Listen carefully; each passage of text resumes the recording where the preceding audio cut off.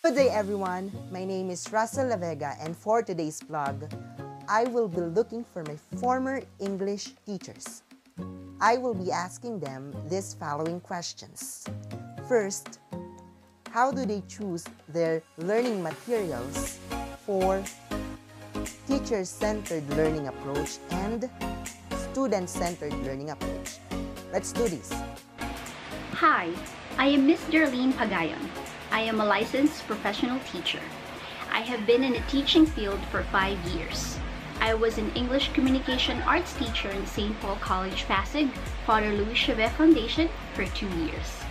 I was a product trainer in Sitel for two years too. Now, I am a business English coach for Japanese businessmen. In my teaching experience, I learned that there are various types of learners and their capacity depend on the materials and strategies a teacher like me can provide. Let me share my perspective about it. The teacher-centered learning approach helps teachers impose authority and dominance in the classroom. In my experience of teaching, I choose the materials for this type of approach that could help me easily explain the lesson. Since I will be the one to do the talking most of the time, it is important to choose materials wisely. The factors that I consider when choosing learning materials are simplicity, conciseness, time efficient, and easiness to manage. Sometimes I create PowerPoint presentations. Other times I use cartulinas and manila papers, which are quite convenient too.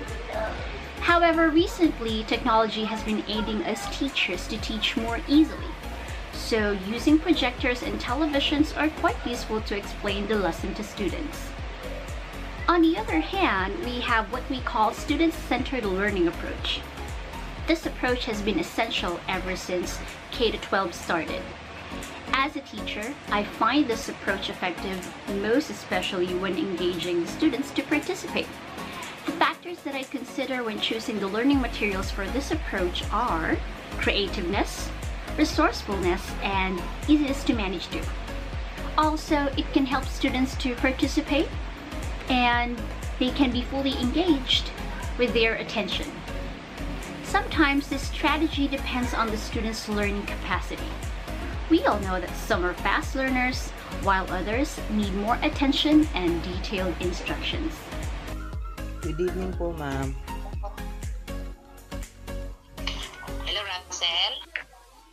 Good evening, Ma'am Magdato. My name is Russel Lavega and I am currently studying at Pasig Catholic College. And I am taking Bachelor of Science in Secondary Education major in English. So my question is with regards to our task. How do you uh, choose your learning materials for first uh, teacher-centered approach and second is student-centered approach. Okay. Uh, good evening. Uh, being a teacher, I will not select a teacher-centered. Why? For me, this is an obsolete approach or a traditional approach. More on imparting knowledge to lectures, listening, and absorbing information. The benefits gained by the teacher is more than the learners, which is wrong. Teacher here wants that the class is always in order and full control of the classroom activities. The pupils, uh, the teacher wants that the pupils will work alone and less opportunity to develop their thinking skills. While in the student-centered, the education becomes more shared experience. The pupils has an opportunity to develop and improve their communication skills. Uh, the pupils can collaborate and tend to be more interested when they can um, interact with one another. In this approach, less talk by the teacher, more hands-on activity by the learners. And for me, this is the best approach that I want to recommend. Thank you. Good morning. I am Miss Anna Gracia and today I'm going to discuss to you the difference between teacher-centered learning and student-centered learning on my own perspective as a teacher. So when we say teacher-centered learning, it is more on traditional and conventional in approach. So when we say teacher-centered learning, most of the activities here are just discussion, panel discussion, group discussion. It is a group in, uh, it is a group discussion, but the thing is the teacher is the one who's giving the the topic to the students and the possible answers for the topic given. So in this type of learning, the teacher has a full authority over the classroom activities and also the discipline inside the classroom. There are many disadvantages and advantages in this type of learning.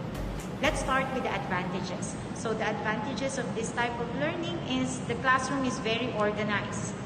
The students are behave because they are just listening to the teacher and the teacher is the one who's talking do all the talking and the students are just there working alone in this type of learning. And the disadvantages are the students cannot practice collaboration and communication skills because all the activities given to them are intended for or it is an individual work. That's why they don't have time inside the class to talk to their classmates because they have to finish it alone.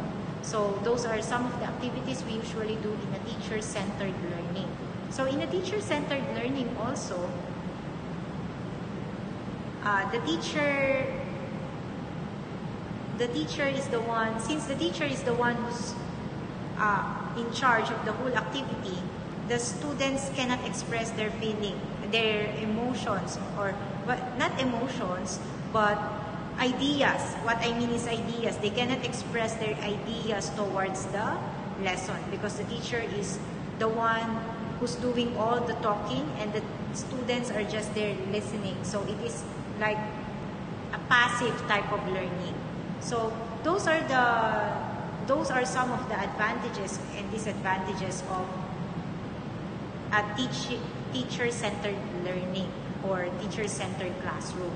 So activities that we usually use on this uh, type of learning are panel discussion, paper and pen activities, which we can do individually. The students can do it individually.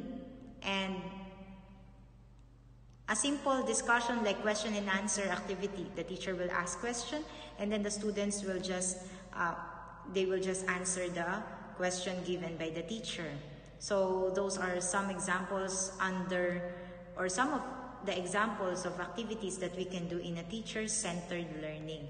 In student-centered learning, the teacher acts as facilitator or coach inside the class. So the students have freedom to learn in their own way. They have the authority to express their opinions regarding the lesson or the activity. So in this type of learning, the students can build collaboration and it can develop their communication skills because most of the activities being used in this type of learning are more on group activities and collaborative activities. So they have all the time in the class to talk to their classmates about their opinions or their understanding regarding the topic.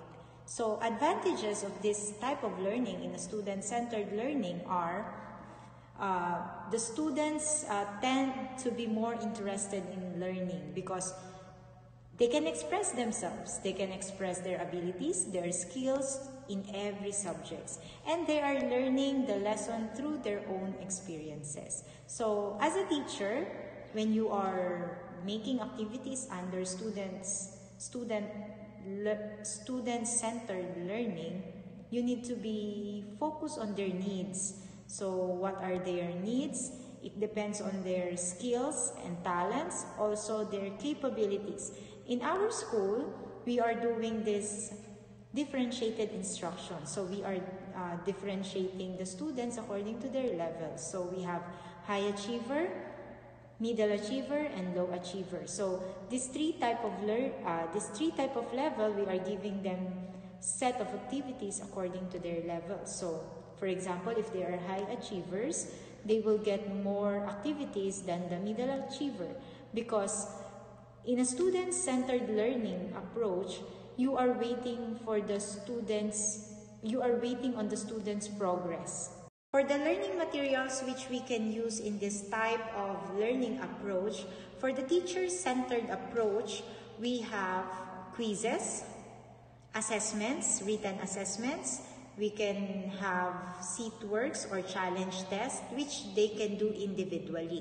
Because we all know that in a teacher-centered approach collaborative activities are not encouraged. So activities should be done individually by the students for the student-centered learning approach uh, there are many activities which we can do or learning materials that we can use uh, for example we have inquiry-based learning materials. These are materials that can develop their critical thinking skills because these materials can uh, be a problem-solving type of activity, uh, evidence, evidence-based reasoning, or sometimes it can be a research type of activity. So this kind of activity can develop students' collab collaboration and critical thinking skills. And also when you do it by group, it can develop the students' communication skills because they are communicating with one another with their own ideas regarding the said activity. Another is a project-based learning and a problem-based learning. This also can develop students' critical thinking skills because they can solve problem by group, they can brainstorm about a certain topic, they can express the, their ideas over a topic. So these are examples of learning materials which we can use in student-centered learning. Always remember that when you are planning activities inside the class, it should always meet your students' needs in terms of their skills, their abilities, and their learning capacity. So don't forget those things because planning ahead is better or you can have a good result in the teaching learning process if you plan accordingly your activities. So that's all. Thank you very much. Hello, I'm Gladys May Casa, an EFL instructor. I was asked to do this video interview on selecting learning materials for teacher-centered approach and student-centered approach. Learning materials have always played a vital role in teaching and learning process. Using learning materials doesn't mean the teacher will teach less. Remember that the teacher is always the best learning aid in the classroom. Learning materials help the teacher in imparting knowledge to the learners and they also help the students retain more information.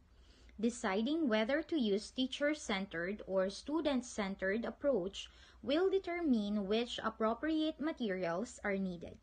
With my years of teaching experience, I'd say that the teacher-centered approach is a traditional way of teaching and is effective especially when discussing a new subject. For this, I normally use the textbook, whiteboard, handouts, pictures, PowerPoint presentations, and other materials which the students can see or read. Using these materials, the teacher can explain the subject easily and students can remember most of what will be discussed. For student-centered approach, I use an interactive LED touch screen, video integrated lessons, and cooperative learning activities and rubrics. In assigning tasks, I have to consider my students' multiple intelligences and set a rubric that will help me evaluate them fairly. It is proven that what students merely hear, they easily forget. What they hear and see, they remember. What they do, they understand and becomes a part of them. I hope this will help you in selecting appropriate learning materials for your students. So that will be the compilation of all the strategies, techniques, and methods of choosing the type of learning materials that we teachers could make use of when it comes to teaching or educating our students. I hope that this set of information will help you in your studies. See you in my next vlog.